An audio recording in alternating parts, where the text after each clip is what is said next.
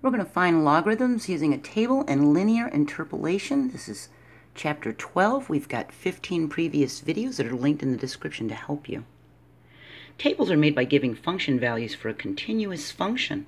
And we can use the given data to find values between them with a procedure called interpolation. Those of you who have been watching me since middle school know we covered this in 8th grade. Interpolation, well, it's a process by which approximate function values can be determined between other values in a table. Interpolation can be done in various ways, and the easiest and most common being linear interpolation. We're going to use it in relation to the table of common logarithms that we've been using. It applies to a table of any continuous function. So if we had this long line here, this linear line here, and you saw 1 and then a missing value and then 3, 4, 5, we can tell this is in between 1 and 3, and using linear interpolation, we can decide that that's a 2. See? It's easy because it's a straight line. When we think about how a table of values for a, any function is made, we select members of the domain. We've got our first x, second x, third x, fourth x, and so on. And we compute the corresponding function values. So function of x is the same thing as y, isn't it? So we have our first one, our second one, our third one, our fourth one, and we tabulate, which means arrange or list, the graph and graph the results. So this would be our table of values, our xy table or function table, and they correspond to each other, don't they? So you might be used to seeing it more like this. So we can find the function value f of x for an x that's not on the table.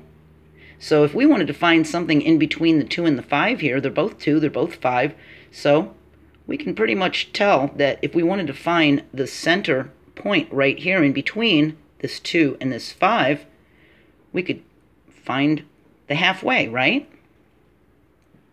If x is halfway between x sub 1 and x sub 2, then we can take the number halfway between the function of x sub 1 and the function of x sub 2 as an approximation to that f of x.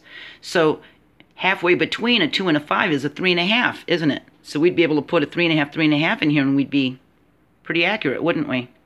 We divide the length from the x sub 1 to the x sub 2 in a certain ratio, and then we divide the length of the function of x sub 1 to the function of x sub 2 in the same ratio. That's linear interpolation. So this is a really rough drawing, so bear with me. If we have this curved nonlinear line, we can fit a linear function to the closest points, closest known data points. We make a straight line, and that would be our approximation. That would be the actual, see?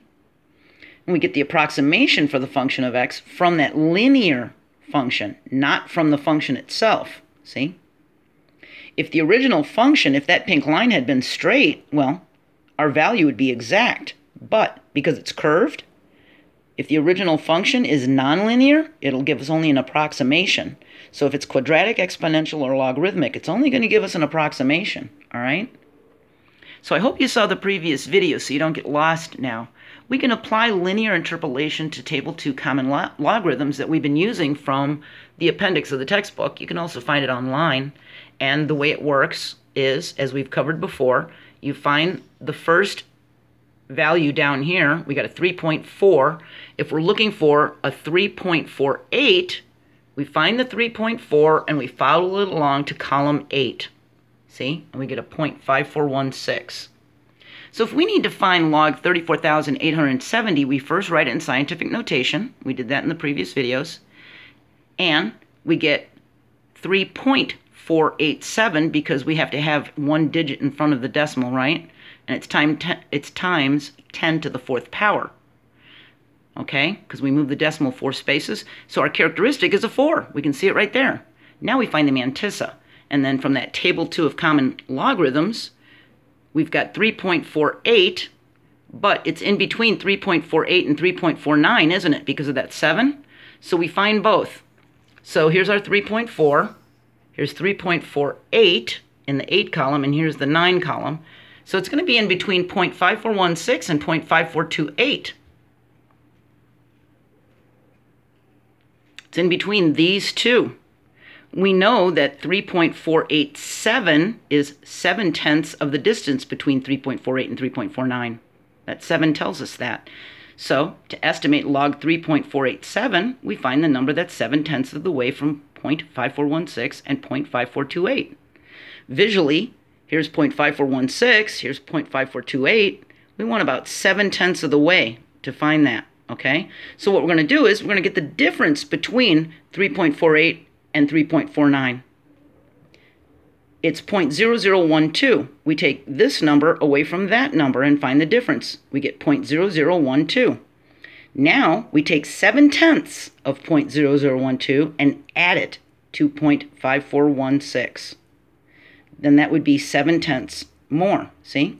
So here's our 0.5416 plus that 7 tenths times 0.0012 to find the 7 tenths of it we get 0.5416 plus 0.00084. We get this that can be rounded to 0.5424.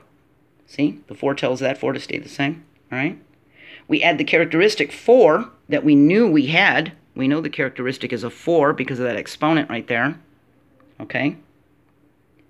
And 4 added to the mantissa of 0.5424 is 4.5424. So we know that log 34,870 is approximately 4.5424. Okay? Let's try it going the other way. Let's try going it with a negative number for our characteristic. So if we wanted to find log 0.01413, we write it in scientific notation, and it's going to be times 10 to the negative 2 exponent because we have to move the decimal point back. So we know our characteristic is a negative 2 and we also know from the previous videos it can be represented as an 8 minus 10, because that makes negative 2, doesn't it? Now we find the mantissa from our table of common logarithms. We've got a 1.41, and we know this is between that and 1.41, or 1, 1.42. That 3 means it's in between 1.41 and 1.42, all right? So we look up 1.41. Here's 1.41 1, and 1.42. So we know it's in between 0.1492 and 0.1523. It's in between here. And that little 3 tells us it's 3 tenths of the way.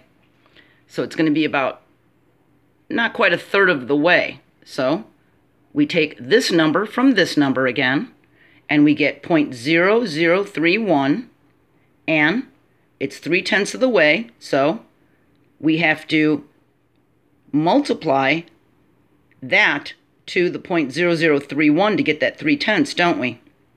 So we're going to add these together, and we're going to add it to this guy right here, right? Like we did before. So now we've got 0.1492 plus 0.3 times 0.0031 this makes 0.00093. We add it to that one, and we get 0.15013. We round this, which is our mantissa, we round it to 0.1501. Seeing that 3 drops off? Now we add that characteristic, that negative 2, as an 8 minus 10. And we get 8.1501 minus 10. Or, if we do the math, it's negative 1.8499. See? So we know log 0.01413 is approximately 8.1501 minus 10, or negative 1.8499. See?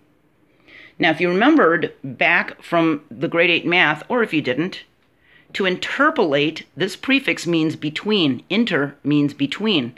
So if we needed to find this value, it's in between values that we know. And then we figure out what it is. To extrapolate means we don't have the values, it's beyond. Extra means beyond. So that means we're going to figure out what the values are by following this trend line. If these are all the same distance apart from each other, and that's 2, 4, 6, 8, we can pretty much extrapolate that that's a 10 and a 12, can't we? All right? So this is what we're doing. We're going in between values, all right? And we're using the values on each side of it to help us figure out what that one is, okay? I hope this was helpful. And I'm going to have links to the grade 8 math 12 point, uh, let's see, I think it was, let me see, 14.2a and 14.2b. I'm going to have links to those videos because maybe an eighth grade video will bring your memory back or be a little bit more understandable. Our next video is 12.6b, and in this video we found logarithms using tables and linear interpolation. Now we're going to find anti-logarithms, okay? It's going to be a link to those 15 videos, and I hope you're having a great day. I always say that, but I really do. I hope you are having a great day, and I always say I'm proud of you, which I am, and I want you to keep trying, and baby steps, and you're going to do great, all right? I believe in you. See you next time.